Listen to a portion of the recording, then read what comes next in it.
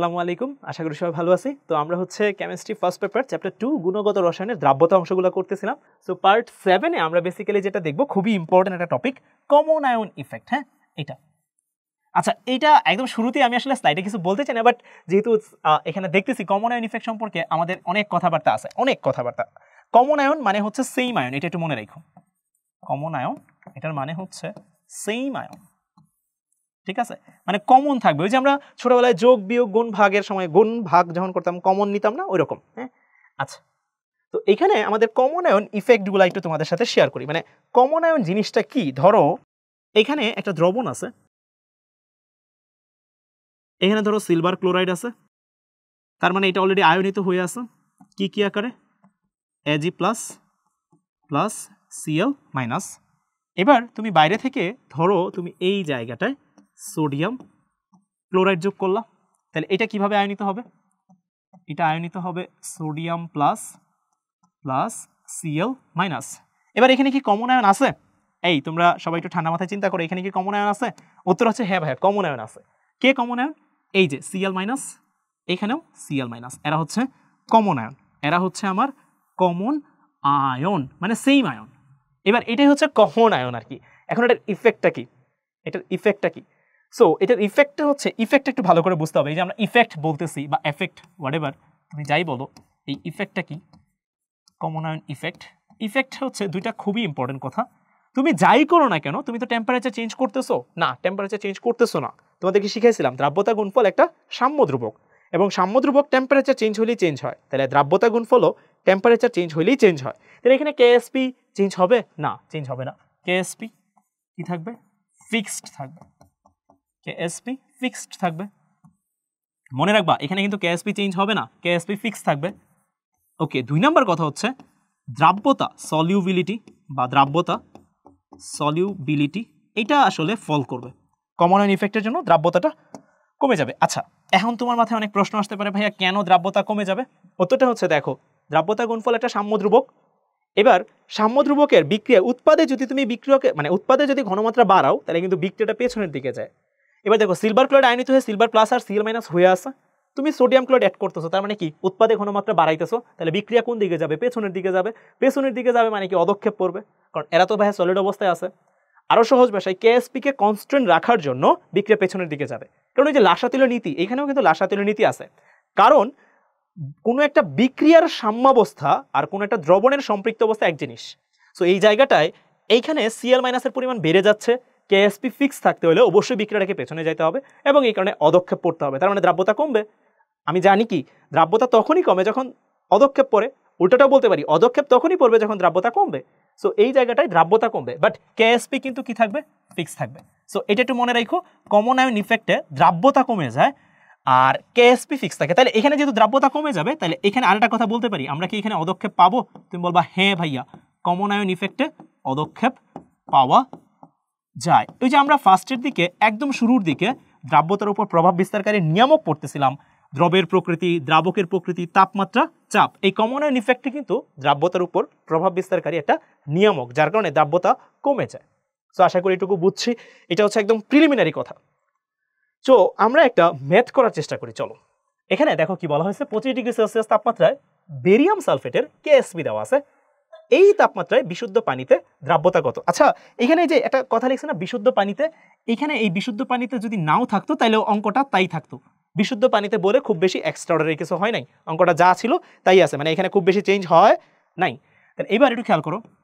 Barium sulphate, এটা যদি আয়নিত হয় তাহলে barium two plus plus SO four two minus এবার ভাইয়ারা খেয়াল করো এটার দ্রাব্যতা যদি এস হয়, এটার দ্রাব্যতাও এস এটার দ্রাব্যতাও এস কেএসপি দেওয়া আছে? এখানে এক্সের ভ্যালু হচ্ছে ওয়ান এবং ওয়াই এর ভ্যালু হচ্ছে ওয়ান তাহলে এখান থেকে আমরা কে কেএসপি বের করে ফেলতে পারি। কে কেএসপি হবে S square K KSP given আছে? গিভেন আছে one point one into ten to the power minus ten তাহলে এখান থেকে আমরা খুব সহজেই এস এর ভ্যালু বের করতে পারি। Root over one point one into ten to the power minus ten এটা মনে রেখো, কারণ পরের অঙ্কে এটা কাজে লাগবে। তাহলে এখানে বসায় দিই root over one point one into ten to the power minus ten তাহলে এখানে কত আসতেছে? এটা আসতেছে one point zero four eight into ten to the power minus five molar মানে মোল পার লিটার তাহলে এখানে দ্রাব্যতা গুণফল চলে আসলো, খুবই সহজ। এবং দ্রাব্যতা গুণফল থেকে দ্রাব্যতা চলে আসছে, শেষ এই অঙ্কটা। এটা খুবই ইজি এবার পরের অঙ্কটা একটু দেখি। সেম অঙ্কটাই। এইবার একটু খেয়াল করো ভালো করে খেয়াল করো। এবার কিন্তু বিশুদ্ধ পানিতে নাই। এই তাপমাত্রায় point one molar barium chloride এর দ্রবণে। এবার কিন্তু আর বিশুদ্ধ পানি ওয়াটটা নাই। বিশুদ্ধ পানি ওয়াটটার নাই। এবার আমরা একটা চিন্তা করি। দেখো বেরিয়াম সালফেট এটাকে তুমি যদি আয়নিত করো, তাহলে তুমি কি পাবা? তুমি বলব, আমি পাবো barium two plus plus SO four two minus so যখন তুমি বিশুদ্ধ পানিতে নিবা, তখন এটা দ্রাব্যতাটা হবে এইখানে এস এইখানেও এস এইখানেও হচ্ছে এস তাহলে এটা কোথায় বের করতেছো? এটা হচ্ছে at pure water at pure water প্রশ্ন হচ্ছে, ভাইয়া, যদি বিশুদ্ধ পানিতে না নিতাম, তাহলে কি চেঞ্জ হয়ে যেত? ইনফ্যাক্ট এটা চেঞ্জ হইতো, ভাইয়া। খেয়াল করো, এবার এটা হচ্ছে বিশুদ্ধ পানিতে। যদি বিশুদ্ধ পানিতে না নেও কমন আয়ন চলে আসে সেক্ষেত্রে, খেয়াল করো বেরিয়াম সালফেট আর আমরা তো দ্রাব্যতা বের করি বিশুদ্ধ পানিতেই, দ্রাবক তো পানি নেই, সার্বজনীন দ্রাবক সবসময় পানি নেই, ভাইয়া। তাহলে বেরিয়াম টু প্লাস আর হচ্ছে অ্যাসো ফোর টু মাইনাস এইবার এইবার ভালো করে দেখো, এখানে কিন্তু বেরিয়াম ক্লোরাইড থাকবে। বেরিয়াম ক্লোরাইড এটা কিন্তু তীব্র আয়নিত। তাহলে বেরিয়াম টু প্লাস মনে রাখবা কমন আয়ন ইফেক্টে বাইরে থেকে যে আয়নটা যোগ করা হয়, সেটা কিন্তু আমার তীব্র আয়নিত হবে। এবার, এখানে কমন আয়ন কি আছে? উত্তর হচ্ছে, খেয়াল করো কমন আয়ন কি আছে? হ্যাঁ ভাইয়া, এই যে, এটা হচ্ছে কমন আয়ন এটা কি আমার? কমন আয়ন এবার দ্রাব্যতা কি আগের মতো থাকবে? না, দ্রাব্যতা ফল করবে, শিখাইছিলাম। কমন আয়ন ইফেক্টে দ্রাব্যতা কমে যায়। এবার তুমি এটা যদি জিজ্ঞেস করা হয়, এইখানে এটার দ্রাব্যতা এবার কত হবে? এটা যদি এস প্রাইম হয়, তাহলে এটার দ্রাব্যতাও এস প্রাইম এটার দ্রাব্যতাও কি হবে? এস প্রাইম আর এটার ঘনমাত্রাটা কত? প্রশ্নে বলা আছে, কত? জিরো পয়েন্ট ওয়ান মোলার তাহলে এটার ঘনমাত্রাও কত? এটার ঘনমাত্রাও জিরো পয়েন্ট ওয়ান মোলার এটার ঘনমাত্রা কত? এটার ঘনমাত্রা two into zero point one molar তাহলে এবার এই সেট দ্রাব্যতা কত আসবে? এটা হয়ে যাবে এস প্রাইম আর ওই সেট দ্রাব্যতা বিশুদ্ধ পানিতে যখন ছিল, তখন ছিল এস তার মানে দ্রাব্যতাটা কি হয়ে গেছে? চেঞ্জ হয়ে গেছে। এবং আমরা যখন ক্যালকুলেশন করব, আগের দ্রাব্যতাটা একটু আগে বের করছি আমরা। আগের পেজে যে দ্রাব্যতাটা বের করছিলাম, সেটা ছিল ওয়ান পয়েন্ট জিরো ফোর এখানে এসের ভ্যালুটা আমরা অলরেডি বের করছিলাম। এই এস এর ভ্যালুটা অলরেডি বের করছিলাম। এক দশমিক শূন্য চার শূন্য চার, এক দশমিক শূন্য চার into ten to the power minus five এক দশমিক শূন্য চার into ten to the power minus five mole per litre. এটা আমরা বের করছিলাম আগের পেজে হ্যাঁ? এবার আমরা দেখি এইখানে দ্রাব্যতাটা কত হয়। এইখানে KSP of barium sulphate equal barium two প্লাসের ঘনমাত্রা। কেএসপি কিন্তু চেঞ্জ হবে না শিখেছিলাম কমন আয়ন ইফেক্টে কিন্তু কেএসপি চেঞ্জ হয় না। এসও ফোর টু মাইনাসের ঘনমাত্রা। তাহলে কেএসপি যদি চেঞ্জ না হয় এখানে কেএসপি তাহলে কত হবে? কেএসপি যা ছিল তাই আছে। ওয়ান পয়েন্ট ওয়ান দেখো, যা ছিল তাই আছে। Into ten to the power minus ten equal এইবার বেরিয়াম টু প্লাসের ঘনমাত্রাটা কত হবে? তাহলে তুমি বলব এবার এস প্রাইম নতুন হয়েছে, আবার পয়েন্ট ওয়ানও যোগ হয়েছে। তাহলে এই দুটো যোগ হয়ে যাবে বেরিয়াম টু প্লাসে দুইটা আছে এবার, তাহলে এই দুইটাই আসবে। S prime plus zero point one sulphate আয়নের ঘনমাত্রা কত? সালফেট আয়নের ঘনমাত্রা S prime into S prime এটা হচ্ছে নতুন দ্রাব্যতা। এস প্রাইমটা হচ্ছে নতুন দ্রাব্যতা।